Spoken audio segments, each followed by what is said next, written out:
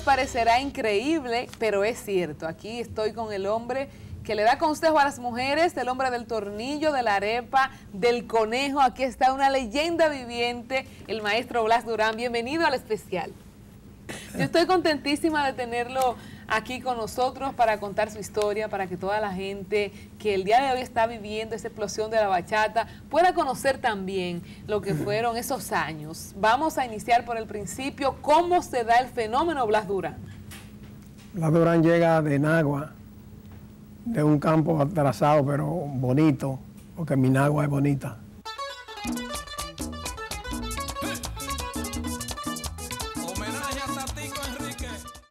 Participé con Aníbal Bravo, participé con el Combo Candela también de Nagua, con Juan Luis y su mulato, pero siempre eh, eh, en el 69 grabando bachata, cuando la bachata no le hacían caso, era disco de guardia, le decían cachivache, pero yo seguía ahí grabando bachata. Y Anthony Río me puso el toro porque me la buscaba con, con orquesta y con bachata. ¿Y cuál era su influencia para cantar bachata, siendo una música tan difícil de hacer en ese tiempo? Bueno, porque tenía su público, los cabareces, los campos, los barrios, tenía su público y uno, uno picaba, picaba algo. ¿Y de dónde usted oyó la bachata por primera vez? ¿De dónde viene su influencia? La bachata, por primera vez hay gente que, no lo creen, pero la bachata se hizo primero en Puerto Rico. ¿Cómo? ¿La bachata es boricua? Sí. Eh, ahí estaba participando en, eh, eh, ya en el 59. Aquí se comenzó a oír bachata, fue en el 61, en el 60, 61, con José Manuel Calderón y Rafaelito Encarnación, fueron los primeros. Pero en Puerto Rico en 59, 58, 59, 60, José Antonio Salamán, que alguien seguro lo conoce de ustedes, no que aunque me digan que yo soy un borracho, que yo estoy perdido de tanto querer. Eh, José, José Miguel Clá, el gallito de Manatí, un digo que llamaba eh, Sálvame de la muerte que me aproxima sea que mucho antes de Calderón, de Encarnación. Sí, ya, eso, ya, ya, eso, ya eso cantaban bachata en Puerto Rico. Lo que pasa es que Puerto Rico abandonó la bachata, la dejó y nosotros los dominicanos seguimos con ella. Pero una bachata más cruda, más sabor a, mujeres libres, sabor a romo, sabor a cabaret. No dejamos de cantarla nunca. Esa fue la bachata que le impactó a usted en lo particular. ¿Cuál fue eh, ya su definición como intérprete no, de bachata? No, a todos los cantantes de, bachata. Este que canta Vaqueró, Marino, Pérez. También cantaba así, Ramón Cordero también. Muchísimo, Edilio Paredes. Vamos a establecer algo, maestro. ¿Cuáles son los antecesores suyos en la bachata? ¿Quiénes hicieron bachata primero que Blas Durán? Rafaelito Encarnación. Dime tú si ella me quiere. José Manuel Calderón, José Manuel Calderón primero, luego Rafaelito Encarnación, ahí casi juntos. Luis Segura. Gracias, papá Dios, porque tú fue vida. Mélida Rodríguez. ¿Qué cantaba Mélida Rodríguez? Yo soy mala y seguiré siendo mala. Que lo grabó Viquiana, lo han grabado muchísima gente. Muchísimas, muchísimas. La primera mujer que hizo bachata aquí fue Alida Liranzo, que eso nadie lo sabe. Y Inocencio Cruz también.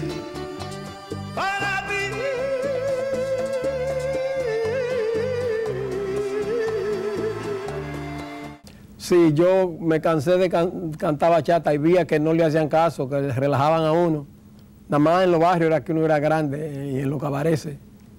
Pero yo vi que no me hacían caso, entonces digo, grabé un tema que se llama El Huevero, que lo grabó Jerry Valga también. ¿El huevero? El huevero, señores, llegó el huevero, a 10 centavos lo vendo, con pique y sin pique. Yo vendo mi huevo. Entonces vi que, que, gustaba el doble sentido, digo, ah, déjame agarrarlo aquí. Y vine con, varié la bachata, le puse, le quité la maraca, le puse guira.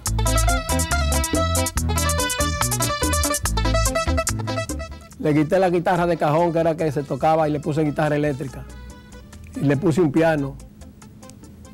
Eh, y vine con un consejo a las mujeres. Con, ¡Mujeres hembras! Aquí, le traigo un consejo. Cuando te vayas a casar, no te cases con un bico. No se vaya a equivocar y te le eche mano al pico. de la capital, al pico en la capital, al pico en la yo no decía mala, mala palabra. Yo, yo sugería la, la, palabra y el otro que pensara lo que quiera, lo que quisiera. Entonces, eh, hay que establecer algo, un dato muy importante y que sirva para reconocimiento. Usted le da un swing diferente musicalmente hablando a la bachata. ¿Por qué le cambia? Yo pegué la bachata moderna. Le cambié eso porque yo dije, voy a venir diferente. Ya que no le hacían caso a la guitarra, a la bachata que nosotros hacíamos. Eh, yo soy mala y seguiré siendo mala. Y se pegaba, pero en los cabarets y en los barrios Digo, ya no que no le hacen caso, yo voy a venir diferente. Y así mismo fue, logré lo que yo pensé. ¿Y cuál es su primera disquera? ¿Cuándo por primera vez ya tiene una casa disquera? Bienvenido Rodríguez, yo soy hecho a, la medida de Bienvenido Rodríguez, el dueño de la Karen el dueño de la Z. Pero yo era la mano derecha de Bienvenido Rodríguez. Yo era que hacía todos los coros con los cantantes de él, Aridio Pérez, Amado Rodríguez, eh, los hermanos Paula y muchísimo más. Yo era que le llevaba los discos al cieguito de Nagua. Yo tenía una luz a mí me, le hacía coro.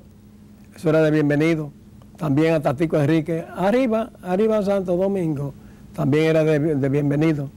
Yo enseñé, acabé de enseñar a bienvenido a bregar con discos. Que lo que viajaba era, vendía zapatos, de tienda en tienda, le decían, tráeme una docena de estas, tráeme una docena, dos docenas de estas. Y a veces no acababa la gasolina, camino de Baní para acá, y era un lío. Entonces ahí con usted fue cuando empezó a vender discos Bienvenido Rodríguez. Sí, fue que me puso a grabar con orquesta Bienvenido Rodríguez, que se lo agradezco. ¿Y cómo le fue a usted? Porque eh, Bienvenido Rodríguez. que se han quejado de él. No, no, no. Bienvenido es uno de los hombres más trabajadores. Bueno, nadie es completo en la vida. Por eso quizás hablen de él a alguna gente que se, queje de él, pero para mí es uno de los hombres más trabajadores, porque llegó aquí sin nada y en, poco tiempo se hizo, mira qué emisora tiene, una emisora tan grande. Eh, la muchachita Karen, esa la cagaba yo arriba, arriba y para abajo al hombro, por eso le puso a los discos el nombre de Karen. Entonces, eh, luego de su participación con eh, bienvenido Rodríguez, ¿cuándo podemos decir? Porque si no Con se, permiso. Claro que sí, si no se escuchaba en sitios más allá de, estos bares de mala muerte, como diríamos, ¿cuándo empieza la bachata a escucharse en la radio y de manos de quién? No, ya yo no estaba con bienvenido, ya, ya cuando grabé Mujeres Hembras fue con Mateo San Martín, la cubané, eh, y con Juan y Nelson, y con Dico Mundo. Ya yo me había ah, divorciado de bienvenido. Así a nivel histórico, ¿cuál es la primera emisora que pone bachata aquí en, este país? Bueno, dicen que era Guarachita, pero no era Guarachita nada más, estaba Radio Tricolor, Radio Onda Musical y Guarachita. Porque Guarachita también nada más ponía los discos que eran de, de, Guarachita. Porque era, era, era, sello disquero también. Era sello disquero también. Lo que no grabábamos con Guarachita no nos ponía ni loco. ¿Cuáles son esos primeros éxitos que podía? Yo tengo aquí en mis notas, por ejemplo, la canción Clavelito. ¿Qué significa para usted?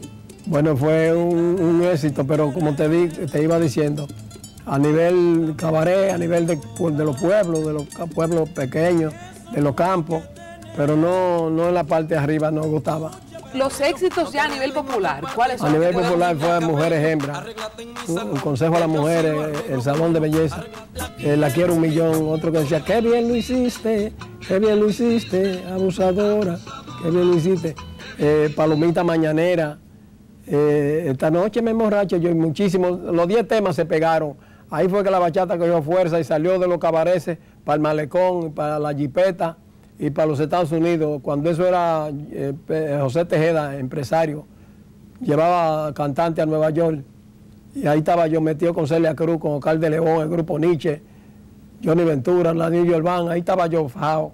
A veces vi tanta gente que me asustaba y tenía que andar con un poquito de, un litro, una botellita de whisky para tirarme unos tragos para... Calmar. Sí, para calmarte. ¿Y cómo asimiló usted el éxito en ese tiempo de estar con grandes estrellas en la ciudad de Nueva York? ¿Cómo fue recibida también esa bachata en los Estados Unidos? O la gente se reía porque eh, yo la, la grabé, do- una parte doble sentido y otra parte que no era doble sentido.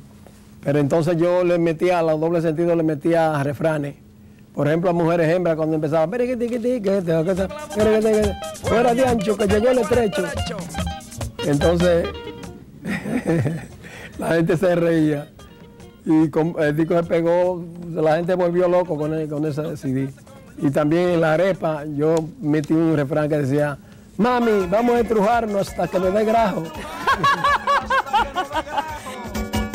Para ti muñeca linda, aquí yo tengo mi arepa. Para ti muñeca linda, aquí yo tengo mi arepa. Pero no la mano sé, que se me para la venta. Pero no la mano sé, que se me para la venta. Eso, eso popular, llevar eso popular sí, y, grabarlo en un disco, sí, fue pionero en eso. Sí, señor. Fui el primero y la pegué a la bachata moderna. ¿Se le ocurría en el momento de grabar el disco? ¿Usted lo planeaba antes de Yo al se, se me ocurrían, no grabando el disco, pero en, en mi casa, hay mucho. No es lo mismo una vieja cogiendo sereno que un sereno cuidando una burra. ¿Y eso cómo le cambió la vida eh, de venir de un campo pobre de, de Nagua, como usted dice, estar con grandes estrellas, viajando, ganando dinero, me imagino que sí. Gracias a Dios. Me cambió la vida mm, grandemente porque yo tengo mi comida segura, tengo mi cuartico guardado y tengo una cuanta casa que me defiendo.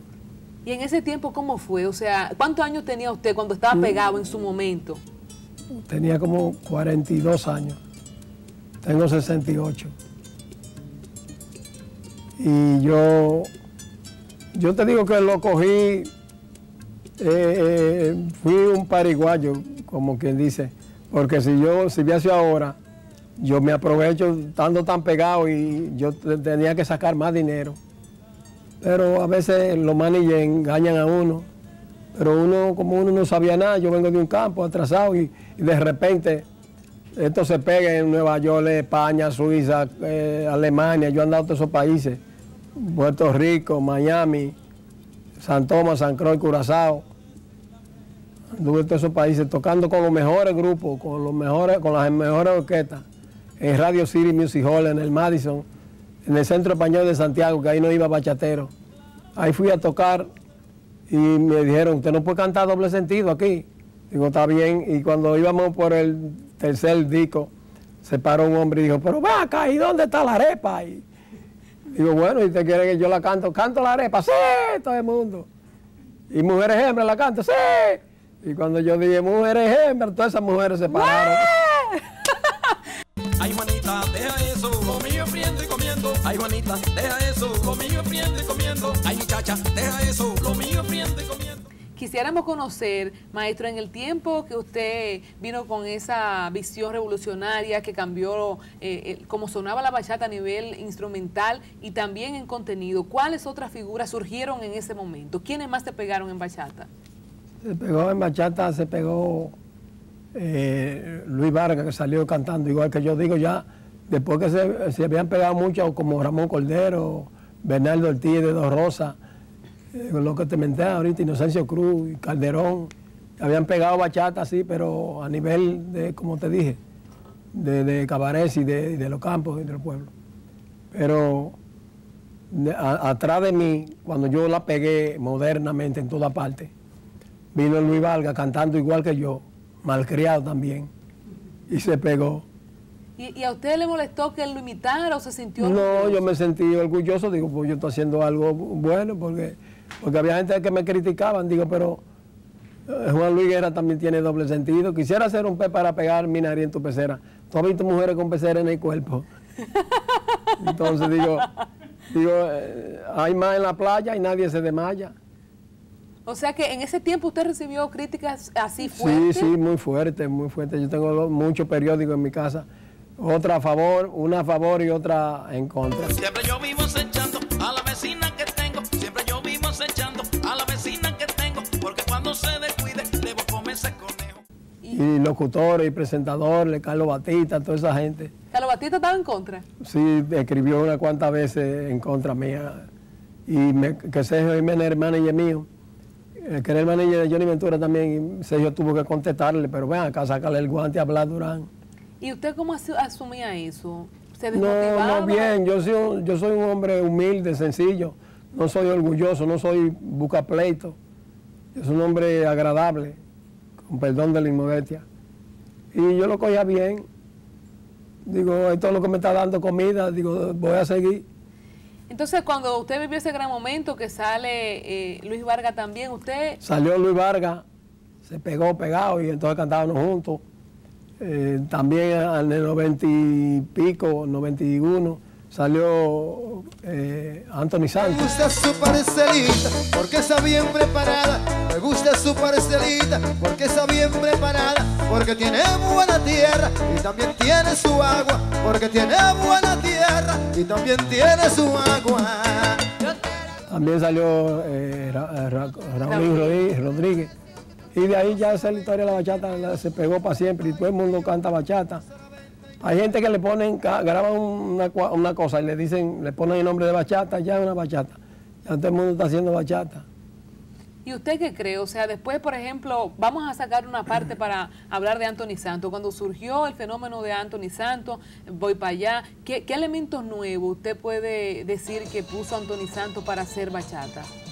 Anthony Santos es uno de los mejores bachateros, porque canta bachata con sabor a romo y bachata fina, bachata con sabor a pueblo, porque ese, esa es lo que es la bachata. La bachata es un can. Tú sabes cómo, cómo son los can que se arman en los campos. Uno toca una guitarra, otro está bebiendo por allí, otro está comiendo sancocho por allí, un can. Eso es la bachata. Y Anthony Santos sabe cantar bachata y canta bachata y merengue, como yo, que yo soy merenguero y bachatero. Y ahora, ¿cómo pondera usted, por ejemplo, luego de esa camada, porque es como, como en camadas que van surgiendo los movimientos de bachata? Después vino Zacarías Ferreira, Joe Vera, Muy bueno, eh, muy bueno. Muy bueno, muy bueno.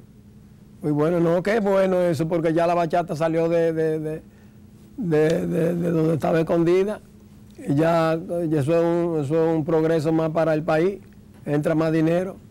Y es otro ritmo. Sí. Y el fenómeno de aventura, ¿cómo eh, pondera usted los sonidos de No, qué fácil, ellos hallaron el camino abierto. Es fácil, ah, duro era coger esa pela que se relajaban a uno cuando uno decía que era bachatero en un barrio. Me siento orgulloso de ser bachatero. En un barrio que tú, tú vives enamorado y te sacaban los pies de una vez. ¿Si era bachatero? Sí. ¿Y, y usted cree que ya en sentido general la gente eh, entiende lo que es la bachata? ¿Usted cree que la bachata ya es la gente, por decirlo de alguna forma, la gente fina ya asume la bachata? Sí, sí, ya, ya todo el mundo le gusta la bachata. Aunque la han refinado un poco más, pero la están, la están refinando mucho. Eh, hay, eh, aparte de, de- de lo que usted acaba de decir, pues hay mucha gente, algunas personas que dicen que lo que hace Juan Luis no es bachata, que la que hizo Víctor Víctor en algún momento no era bachata. No, era, era una música con el nombre de bachata. Muy bonita, muy chula, pero no era bata- bachata completa, le, le- le faltaba algo. ¿Qué le faltaba? El saborcito yo te digo. Yo te lo digo, qué bendición. Siempre se discute en la evolución de los ritmos. Hemos consultado a varios artistas. En el caso del merengue, por ejemplo, Johnny Ventura ha dicho que no se le puede decir merengue a lo que hacen los eh, urbanos, el merengue de calle propiamente. Usted que ha vivido la evolución y que en su momento también cambió el ritmo, ¿usted qué opina de eso?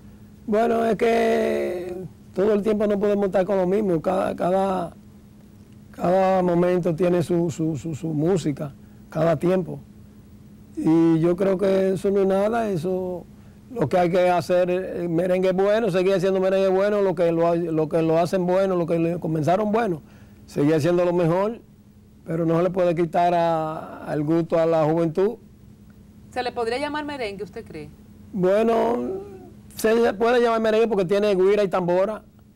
Y todo lo que tiene guira y tambora es un merengue. En el caso de Johnny Ventura, que también fue un revolucionario, eh, eh, ¿tiene algún Johnny Ventura, sí, Johnny Ventura lo revolucionó el merengue cuando, en los tiempos de Joséito Mateo, Ramón Gallardo y compañía, Vinicio Franco, eh, Johnny Ventura vino con una revolución del caral y la pegó. Vecina, a coger sotilla que no es de Cuabaná y llegó el la vecina a coger ¿sabes? y un baile, la- los merengues, la, la fiesta, las orquestas hacían, tocaban sentados. Y Johnny Ventura vino parado con, con el grupo adelante bailando y, y acabó con medio mundo. Eso mismo está pasando ahora con, con el merengue de Vaquero y de todo eso de, de Ratatac, eh, Cata y toda esa gente. Tito Swing, muchísimos que están pegados. Eso está bien, eso es para más dinero para nuestro país. Yo estoy de acuerdo. Sí. Soy yo, mami, el hombre del palo. Lo que yo tengo, lo traje de Monterrío. El palito que yo tengo, lo traje de Monterrío. Yo quisiera saber, maestro, ¿cuál es su formación musical? O sea, ¿de dónde le sale que va a ser artista? Desde que yo era campesino, que trabajaba machete, tomaba mucho cacao. Yo cantaba en el conuco y la gente me, me hacía un cerco, otros me relajaban. ¿Qué va, va a ser tú ningún cantante? Nada. Digo, tú verás que sí. Y así fue, gracias a Dios. ¿Y qué cantaba cuando estaba? ¿Se acuerda de la canción que cantaba cuando estaba cosechando el cacao? Eh, Mi papá era poeta y sacaba una décima. Y él fue que sacó, yo te hallé sin condición y sin ropa que ponerte. Y así te ofrecí quererte y te di mi corazón. Y por tu mala intención y tu pícara malicia, yo fui quien hizo el altar y otro dijo la misa. Entonces yo agarraba esa letra de mi papá, de la décima, y la cantaba. Y la gente se, me aplaudía muchísimo. Y en ese momento pensaba que iba a ser bachatero. Sí, porque eso era lo que eh, podíamos alcanzar más fácil, porque era más barato, con dos guitarras y una maraca, se hacía un diquito. Pues éramos pobres, no teníamos dinero para grabar con muchos músicos. ¿Y quién le enseñó a tocar los instrumentos? ¿Aprendió empíricamente? No, yo, quien me enseñó a cantar más, porque yo estaba medio, medio loco, me sal- corría, eh, no tenía mucho compás. El primo mío, Edilio Paredes, que es uno de los cantantes de bachata también más grande, me enseñó a cantar, primo, cante bien, caramba. Y gracias a él, y así pegué en tu aparte. ¿Usted recuerda su primera aparición en público cantando? Sí, sí, sí, los bachateros, todos, Luis Segura, Calderón, todos, picábamos donde estaban bebiendo en la- los cabareces que estaban en, en Gacue, en, en el malecón. Todas esas sillas que estaban tomando, uno iba y le cantaba una canción y le daban unos cinco pesos, cinco cheles, tres, che- tres pesos. Que tres pesos antes era uno- un dinero grande. Un dineral. Sí, todo el mundo se la buscaba así. Ya, ya yo había cantado en, en público muchísimas veces. ¿Y su primer paso ya en una banda formal, cuándo lo da? Bueno, eh, con, con el Juan Luis Sumulato, yo tratando de que no me relajaran tanto, me can- cantaba con orquesta y con, la, y con bachata. También después pasé a formar parte de Aníbal Bravo. Digo, ya yo venía eh, primero con el Combo Candela, después con Juan Luis Sumulato y, y después con Aníbal Bravo, junto a Bobby Rafael. Ahí yo cantaba con, con la orquesta y cantaba mi bachata. Entonces, por eso también hice una orquesta cuando estaba en Teleantilla, en el programa Fiesta de Teleantilla, que Anthony Río me presentaba, me puso el toro, porque yo me la buscaba con bachata y con orquesta. Y usted, si ya usted estaba identificado con la bachata, ¿por qué usted estaba, por ejemplo, ahí con Aníbal Bravo haciendo merengue? ¿Qué usted buscaba con eso? O buscaba que, para paliar todos los relajos que me hacían, porque era que se reían de mí, entonces yo quería salir, dejar la bachata, pero no la dejaba porque era lo que me gustaba. Y dejaba de tocar con la bachata para irme con la orquesta. Pero que también eh, yo estaba con la casa Karen en ese tiempo. Y bien, yo le rogué, bienvenido, póngame a cantar con orquesta. ¿A usted le daba vergüenza? Sí. que ¿A Uno- usted le daba vergüenza ser bachatero? Lógico, porque era que, hasta, mira muchacha, uno no se podía enamorar. En el barrio que tú te enamorabas de que se daban cuenta que tú eras bachatero, ah, ese es un cuerero. Y empezaba, Ese es un bachatero, eso era un insulto. ese ese es un disco, disco, es lo que canta el disco de guardia, eso era un insulto. Si tú te crees que te voy a llorar, porque me digas que todo se acaba. Yo le decía, no, yo canto también con orquesta, mira, mírame ahí, bebe domingo, que vamos a estar en tal programa. ve al típico caribeño en la feria, porque vamos a to- tocar ahí tal día. Ahí yo me defendía y entonces ahí estaba ba- un poco más balanceado. ¿Cuándo usted asume ya la bachata como su bandera y deja de fingir que es merenguero y se dedica a su bachata? Cuando hice a Mujeres Hembras. Cuando grabé El Huevero, que vi que se pegó, lo grabó Jerry Valga también. Digo, ah, pues doble sentido gusta. Digo, déjame ir por aquí. Pran, pegué, pegué en tu parte, entonces no la pegué nada más eh, aquí, la pegué en 20 mil países. Yo soy el que le abrió la puerta a la bachata moderna A nivel internacional. a nivel internacional. Eso está claro. Y el que diga lo contrario está equivocado. Yo tengo aquí en mis notas y como que me acuerdo de que usted participó en un programa de televisión. ¿Cuándo se da eso? ¿En qué etapa de su carrera entonces usted entra a formar parte de Noticiario Desinformativo? Y aquí la voz de la miseria desde el centro de la necesidad. En cadena con Radio Tengo Hambre, Radio No Comío, Radio Me Está Llevando el Diablo, Radio Tengo una semana que no consigo un chele. Y todas las radios del país a través de Yo, en sintonía con... Noticiario desinformativo. Ya cuando estaba pegado, que tenía unos cheles, tenía cheles, ya, el, el Felipe Peña me cayó atrás. Yo quiero que hagamos un programa, hablar, pero que no tengo dinero, tú préstamelo, pon, ponlo tú dinero, vamos a hacerlo entre tú y yo. Y yo no quería. Y eso era, ya me, me caía atrás, ya me llamaba por teléfono. Hasta que me convenció, estaba yo grabando en grabación de Fabiola. Y me convenció y le di, me parece que fueron 4.500 pesos, que eran unos cuartos del caray. Digo, está bien, toma. Entonces fajó, juntó los lo, lo, lo cómicos y los camarógrafos.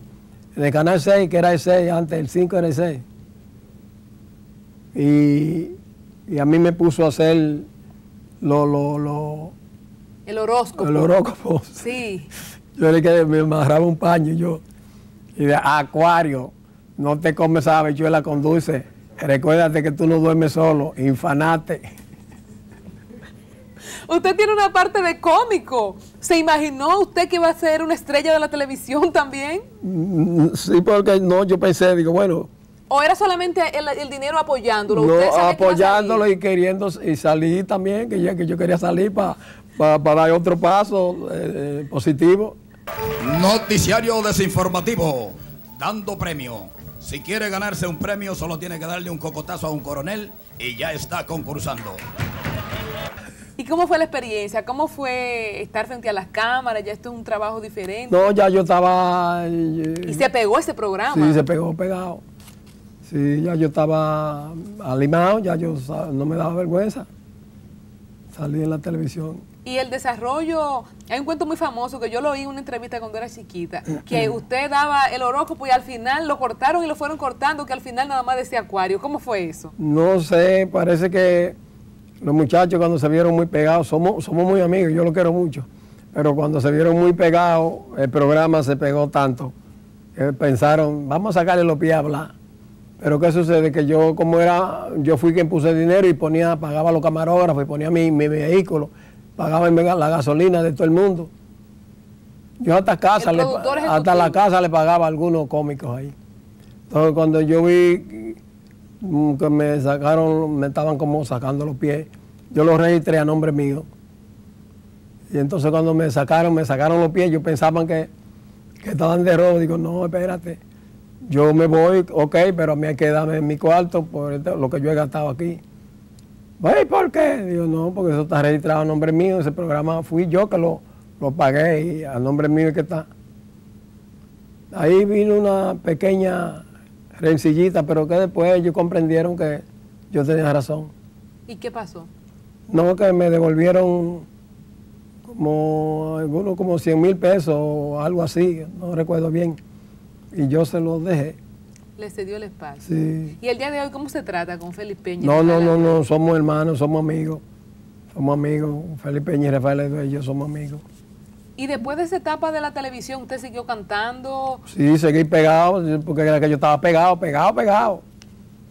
Decir Blas Durán y los peluches, eso era una cosa del otro mundo. ¿De dónde viene lo de los peluches?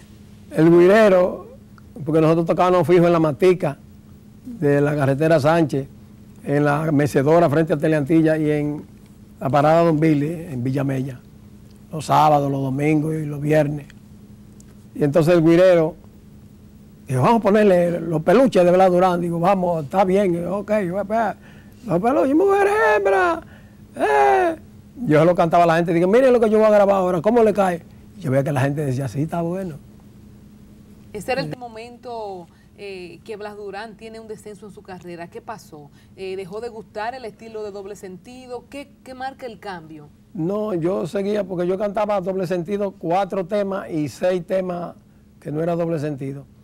Lo que pasó que el diquero, el manager, se, se, tuvimos problemas y el diquero también fracasó, que fue eh, Dico Mundo, se mudó para, para Miami. Y ahí empecé a enfriarme. Y que surgieron también bachateros terribles, porque ya habían encontrado el camino abierto. Y eso... ¿Terrible como quién? Bueno, Luis Vargas, Anthony Santos, Raulín, son muy buenos. Y, hallaron mejores managers. Porque el artista que no tiene un buen manager está preso. Hay managers que, que hacen contratos y se cogen dinero para ellos. Entonces los cantantes tienen que sacarle los pies. Y, al final, entonces, usted, usted dejó de grabar por un tiempo. ¿Qué sucedió no, cuando pasó No, yo seguí grabando. Lo que pasa es que ya no tenía la misma acogida. Eh, fui me puse a visitar la iglesia también, cristiana, que soy cristiano, ahora soy evangélico, señores. Oye, ¿cómo lo viste? Ahora soy evangélico. No, porque la gente se halla eso raro. Yo leí aquí en mis notas, antes de llegar a la parte del evangelio, que usted tiene 12 hijos y que tuvo siete mujeres. ¿Cómo fue eso? no, eso ya que nos vamos a meter en un área bien profunda, hábleme de eso, maestro. Eso sí, me gustan, me gustaban mucho las mujeres, ya no, porque ya no me gusta la esposa mía, Maribel Méndez. Pero yo me gustaba las mujeres, yo nombré... 12 muchachos. Mira que entrevistaba eh, a Quero y tenía de que 6. No, yo tengo 12, 6 mujeres, 7 mujeres. Eh, yo era un hombre, tengo puertorriqueño, tengo americano, tengo curazaleño. Yo era un hombre apretado con las mujeres. era, lo único que me, que me, gusta porque no, no un servicio nunca de rom, de, de, de, de, droga, nunca. Mi traguito, sí, para cuando iba a cantar, botarle el miedo, porque había, había, a veces había tanta gente que yo digo, ay, estoy asustado me tiraba mi trago y, me con chinflaba seguido. Que usted también grabó con Johnny Ventura, o sea que grabó casi con todos los grandes de, esa época. Yo hice, yo hice coro, no que, no que grabé, sino que hice coro con Johnny Ventura, con el merengue, que van a matar a los feos, ese soy yo que digo eso. Y hago coro con que lo van a eliminar, son muy feos, con que lo quieren eliminar. Hago coro ahí con Luisito Martí y otro grupo más. Estaba yo en Fabiola y Johnny Ventura me dijo, tú canta. No me conocía, no nos conocíamos. Yo sí lo conocía a él, pero él a mí no. Digo, sí, yo canto, yo cantaba bachata de la de, la de cabaret. Y me dijo, pues ven para que me ayude a hacer este merengue. Y, fue un éxito. También grabé con el ciego de Nagua. Yo tenía una luz que a mí me alumbraba haciendo coro con, yo, eh, con Tatico Enrique. Arriba, arriba, arriba Santo Domingo, el CD entero. También con Yoyito Cabrera a don Timoteo la carne lo mató el CD entero haciendo coro Blas Durán con Chico Alejandro, que éramos de la Karen, los de bienvenido. También a Juan Luis Guerra le, preguntaron cuando yo estaba pegado, pegado, que yo dije que me gustaría grabar con Juan Luis Guerra y el Mundito Espinal le hizo una entrevista. ¿Te gustaría grabar con Blas Durán? Y Juan Luis le dijo, sí, me gustaría grabar con él, todo depende del tema que él me presente. Así que salió eso el 17 de, de julio de 94 en el, Nacional. Eso fue un momento impresionante. ¿Cómo no, no, yo estaba loco, yo estaba, yo estaba, fama? yo estaba loco, pero cuando Juan Luis dijo eso, que Mundito le preguntó, yo brincaba para arriba. Feliz. ¿Cómo usted manejaba toda esa fama, todo ese dinero, todas esas mujeres? No, bien, ese, ese, ese, eso es lo que yo más le agradezco al Señor Jesucristo. Por eso y otra cosa más, soy evangélico hoy porque le agradezco a Dios que nunca me dejó que el dinero se me subiera a la azotea, ni, ni el prestigio, ni la pegadera. nunca, me, nunca le he ofendido a nadie, nunca me, le he maltratado a una mujer. Para mí las mujeres son las flores del mundo. No me meto con nadie, no discuto con nadie. Si tú quieres discutir conmigo, te no, tú tienes razón, te doy la razón. Siempre he sido así porque soy criado por unos viejos de un campo que eran macanas. Y le agradezco que me criaran así. ¿Qué lo llevó a tomar la elección de ser evangélico? Porque entre ese hombre cabaretero, mujeriego y que se daba su traguito, aunque sea para botar el miedo, no tiene nada que ver el evangélico. ¿Cómo llega a ese, ese- ese punto? Porque hay gente que me dicen que no hay Dios, yo le digo que no hay Dios. Ese sol que está ahí no lo puso la corporación. Entonces, yo me di cuenta que hay Dios, porque caí en Nueva York cuatro días que no supe de mí. Eh, pues yo tengo Parkinson en el lado derecho.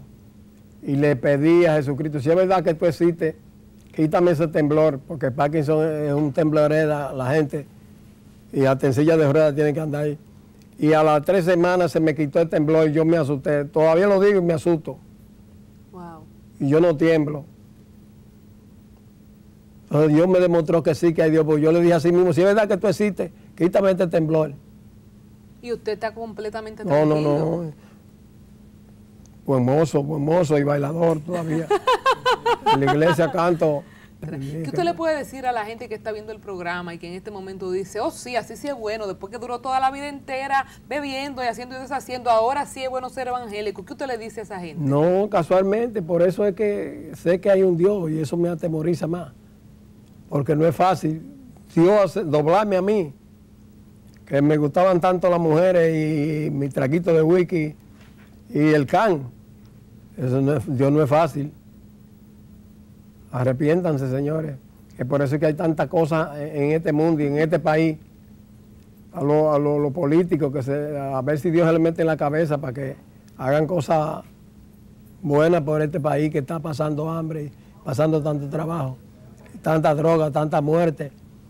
¿Tú crees que es fácil eh, de que un hijo matara a su hijo, a su mamá, a su papá? Eso es cosa del diablo. El diablo está soltado y si nos arrepentimos mucho, pues le podemos caer encima al diablo. Entonces la motivación a toda la gente que está viendo el programa en el resumen de su vida. Que no hagan maldad, que se arrepientan, dejen de hacer maldad, que de la maldad lo que sale es Satanás. Y Satanás no es nada bueno. ¿Se siente feliz con su nueva vida? Sí, pero muy feliz, pero ahora si yo iba a durar, tengo 68 años, y yo iba a durar 68, ahora puede ser que dure 90, llegue a 90, ¿verdad? Ah, porque ya no bebo, no ando en la calle, me puede pasar cualquier cosa porque a cualquiera le pasa, pero me, me estoy cuidando más, no, no me dañe el hígado, y así sucesivamente. Estoy en paz con todo el mundo, a todo el que le puedo hacer un favor se lo hago, porque ese, eso, yo tengo un corazón así. Y me siento feliz cuando hago un favor. Y sigue haciendo música. Y sigo haciendo música, tú lo dijiste.